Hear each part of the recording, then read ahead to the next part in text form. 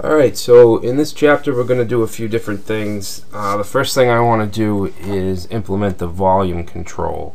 Alright, because right now if we play it and turn it up, it doesn't do anything, okay? It's not getting louder or softer. Alright, so let's open up uh, let's open up HTML, the HTML with Notepad and uh, the main JavaScript file. Alright, so we have play, pause, and stop function functionality, which is all set. So what we want to do is grab the volume object. Alright, so if we go to the HTML, we have an input which has the ID of volume. Alright, and the minimum is 0 and the maximum is 10, and the default will be 4. Alright, so let's grab this with jQuery. Alright, I'm just I'm gonna add some comments here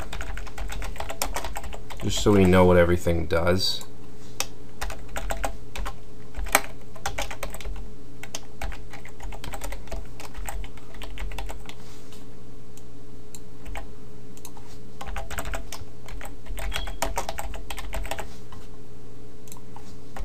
Okay, so we want volume control. So let's grab that with jQuery. The input tag has an ID of volume. Alright, so what do we want to do with that? We want to do something when it changes. So we're going to use the change event. And inside the change, we want to run a self-calling function and what we want to do is uh, grab the audio object and, and use the volume property. So audio volume is going to equal parse float.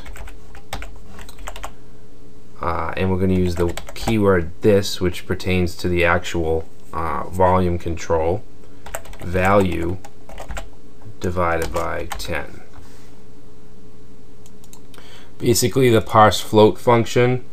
Uh, it parses a string and returns a float a floating point number.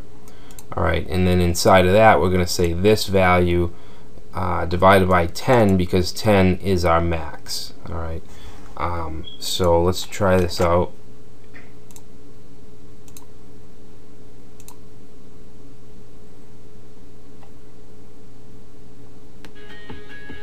Alright, so I'm going to turn it up.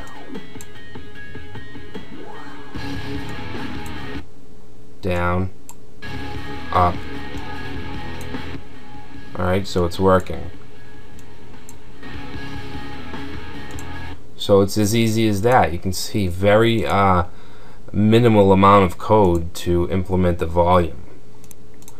Right, so the next thing we want to do is implement the duration. Okay, we want this um, timer to, to go when the song's playing uh, and we also want this progress bar to fill up as the song plays.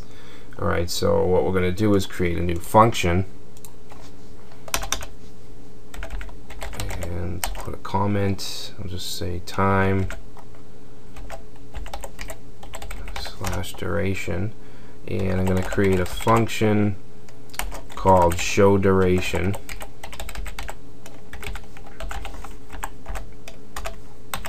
Alright, now what I want to do is we want to bind the time update uh, event. Okay, so with the uh, with the audio API, there's a, a, a, time update event which basically shoots off every second. Alright, so what we want to do is grab the audio object and we want to set uh, bind and the first parameter is the name of the event which is going to be time update. And then the second is going to be a function. Okay so the first thing we want to do is get the hours and minutes. And we're going to set a couple variables. S is going to be for second. Basically we're going to call this uh, parse int JavaScript function uh, on audio dot current time uh, we want the percent and then we want 60 okay so this little formula here is is basically just going to give us this the um, uh, the seconds that have passed okay so now we want to grab the minutes. So we'll say variable m equals parse int which just turns whatever is in here into an integer, into a number. And same thing, audio dot current time uh, divided by 60 and then here we want modulus uh, 60 okay so that little formula will give us the minutes. Alright now now what I'm gonna, I'm going to do here is run a check and see if the seconds are less than 10 and if they are I want to put a 0 because by default it's going to say um, it'll be like uh, 1 2 or something like that. I want it to be 102 okay so it's, it's very easy to do. We just need to create a little condition I will say if seconds is less than 10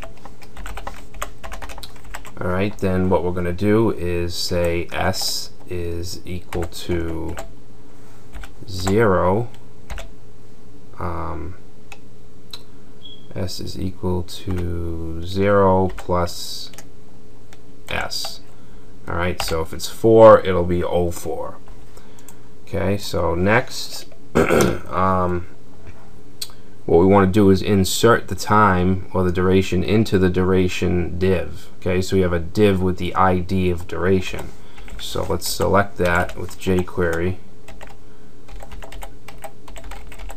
Okay, duration. And to insert HTML into uh, a div in jQuery, we can just use the HTML method. And what we want to put is first the minute. And I'm going to concatenate uh, a dot. And then concatenate on the seconds okay? I'm sorry not a dot I want a colon.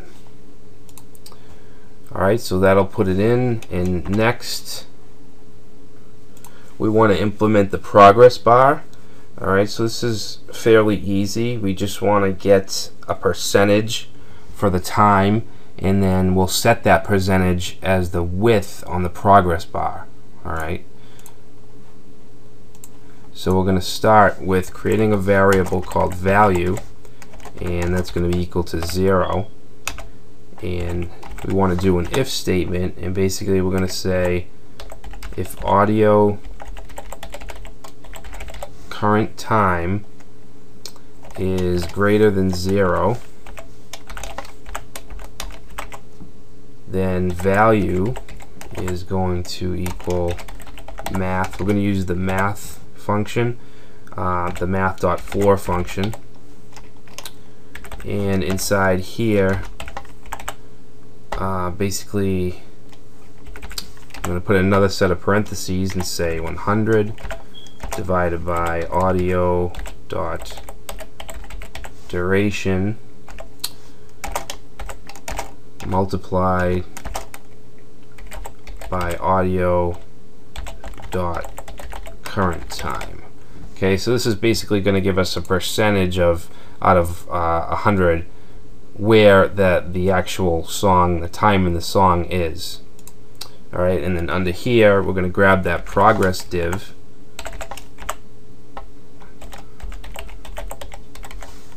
and we're going to add some CSS using jQuery.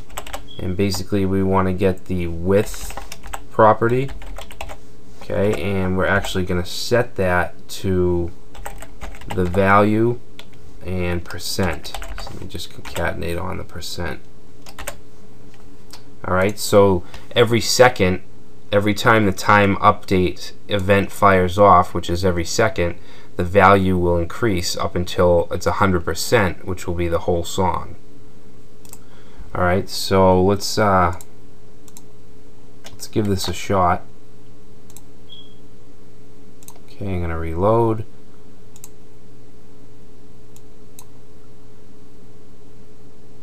Alright, so the song is playing, but we're not getting a duration. Let me just check out the JavaScript.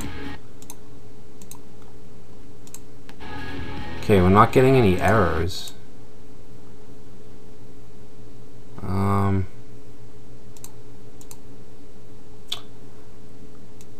oh, you know what? We never we, we haven't called the show duration method. Alright, so we have to actually call this in the play. When we click the play button, we'll call that function. Alright, so let's try this again. Alright, so we can see the time and you can see the progress bar as well filling up. Excellent. If we pause it, it stays where it's at, play it, keeps going. If we stop it, it goes back to zero. So that's working perfectly. Alright, so the last thing we have to do here is just implement the playlist and be able to switch through songs. So I'm going to save that for the next chapter and I will see you there. Thanks.